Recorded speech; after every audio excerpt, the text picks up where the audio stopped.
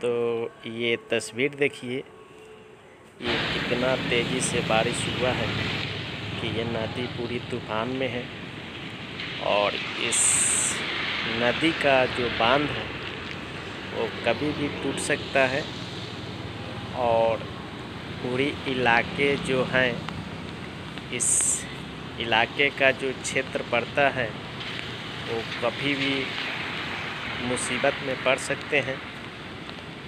क्योंकि इसका जो बाँध है कभी भी टूट सकता है।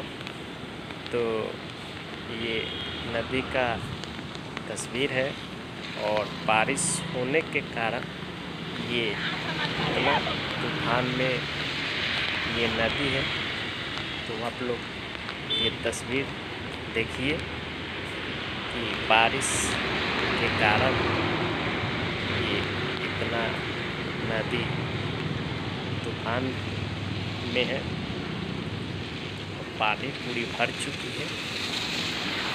और ये तस्वीर आप लोग देखिए। कितनी क्षेत्र में ये पानी भरी हुई है।